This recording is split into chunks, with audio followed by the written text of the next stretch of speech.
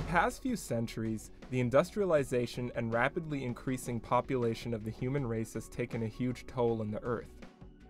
With satellite imaging, we've been able to document the changes on the Earth's surface caused by urbanization, deforestation, desertification, erosion, and changes in the flow of water.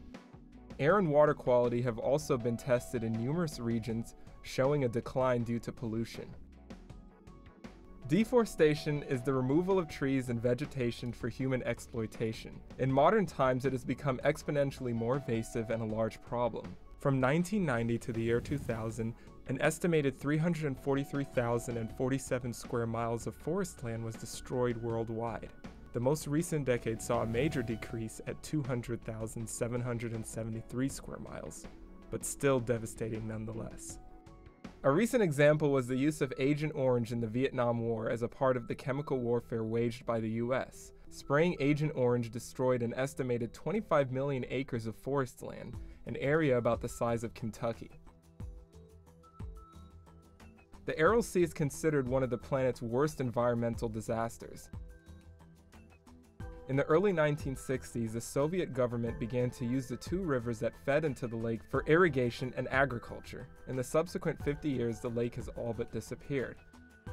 The grim outcome is documented by satellite images taken over the course of the past few decades. A once great lake is now a barren wasteland with only small slivers of water, abandoned ships, and a destroyed fishing industry.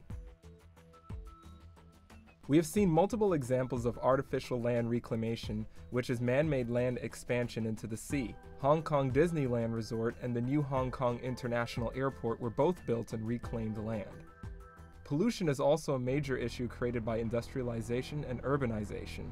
Disasters such as the 1986 nuclear meltdown of the Chernobyl power plant in the Ukraine have left lasting effects on the environment to this day. The area is still uninhabitable.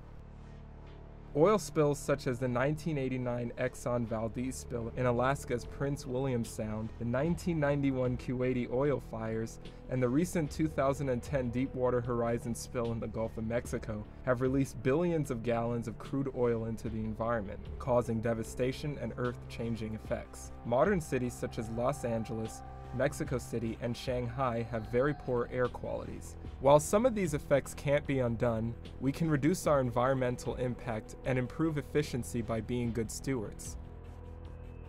With rising populations, if we don't make good efforts to lessen our environmental footprint, there will be no resources left for future generations.